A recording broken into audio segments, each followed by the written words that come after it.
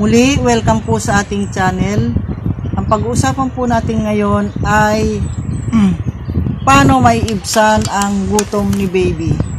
Meron po akong formulang isi-share sa inyo na all natural.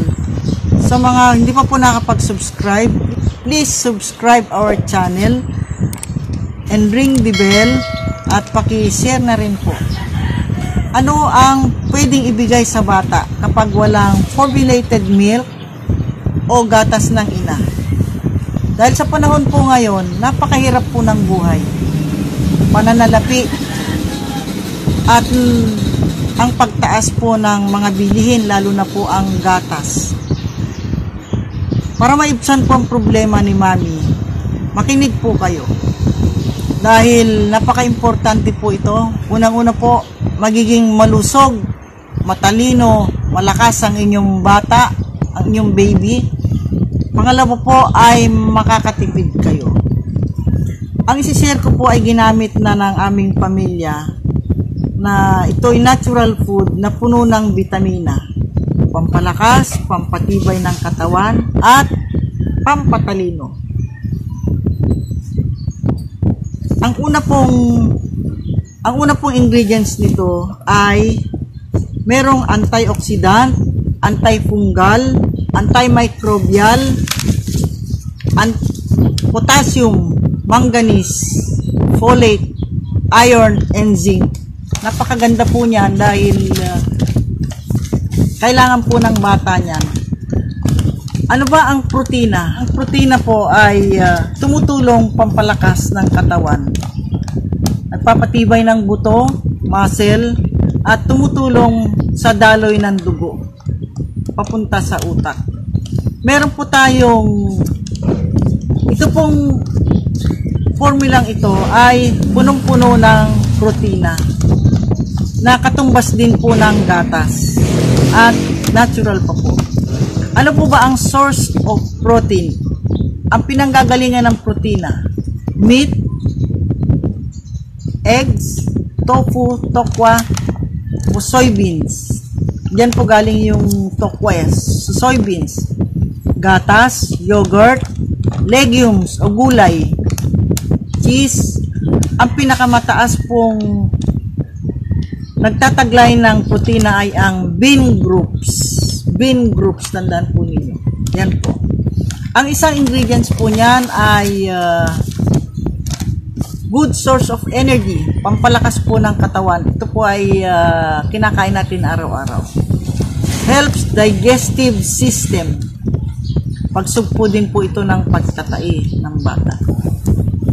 Meron po siyang carbohydrates, calcium, iron, thiamine, folate, vitamin E, niacin, bioflin, by riboflavin pala, riboflavin, niacin at iron.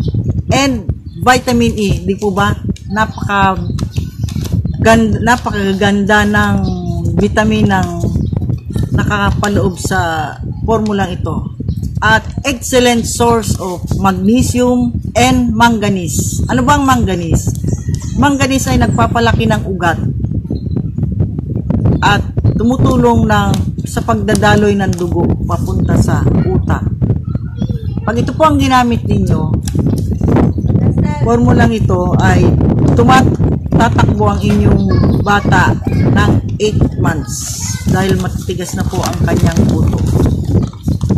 At uh, ang isang nakagamit po nito ay uh,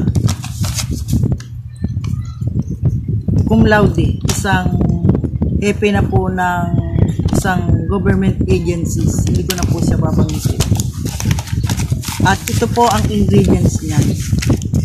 Ang ingredients po niyan ay ito. Ito po.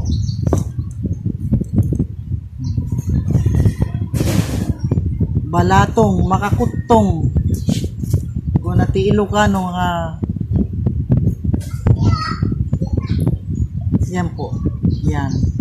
Munggo po. Pamilyar naman po tayo dito siguro ano. Dahil inuulam po natin to. At ito po, yan. Bigas. Ang gagawin po ninyo sa munggo ay, una po ay sasangag ninyo bago nyo ipagiling. Huwag po nyo ipagigiling ng hindi pa naisasangag dahil iiwanan kayo niyan. Tatakbo lahat yan, tatalsik at walang matitira para kay baby. Kawawa naman po si baby. At pagkatapos po, ang po ipagigiling din pero wag na ninyong isangag. Marami pong nagigiling dyan. Pumunta po kayo sa palengke, yung mga nagigiling ng gumagawa ng peanut butter at saka yung mga gumagawa ng galapong para sa kakanin. Yan po ang gagawin ninyo. Ang ratio po ninyo, ang ratio po niyan, ratio ibig sabihin, ang dami ay pwedeng 1 is to 1. Ang gamit ko po noon is 1 is to 1. Isang kilong bigas, isang kilong uh, munggo. Isang buwan na po niyang gatas yan, konsumo. Di po ba napakatipid? At malakas si baby. Kung meron po kayong pera ay uh, lagyan na rin po ninyo ng kahit isang scoop na gatas para meron namang lasa. Kung hindi, yung pong gumamit nito ay konting asukal lang po nilalagay. Yun po ang ginamit. So, sa pampers naman po, mga mami, hindi na kayo mamroblema ng pampers. Ito po ang ginagamit nila. Ito po. Happy Panty. Ang gawin po ninyo ay pag nagamit na po, butasin nyo to. Tanggalin nyo yung cotton sa loob. Then, labhan ninyo. Ayan po, nalabhan na to. Wala na yung nasa loob. Oh. Yan. Laban ninyo. Bango naman po. Pwede pang pan, pwede gawing mas to eh. Kung wala kayong mas, ibutasin nyo dyan. Yan po. Tapos, lagyan po ninyong damit sa loob. Kung hindi, t-shirt ninyo, maliliit na damit, lagay ninyo para hindi kumalat ang wiwi ni baby. So, yan po ang sishare ko sa inyo. Dahil wala naman po akong maibibigay. Ito lang po konting kaalaman. Sana po nakatulong sa inyo. At uh, sabi po sa Biblia, ay ang lahat ng tuhod sa akin ay luluhod. Ayan po. Maraming salamat po at sa muli. Bye-bye.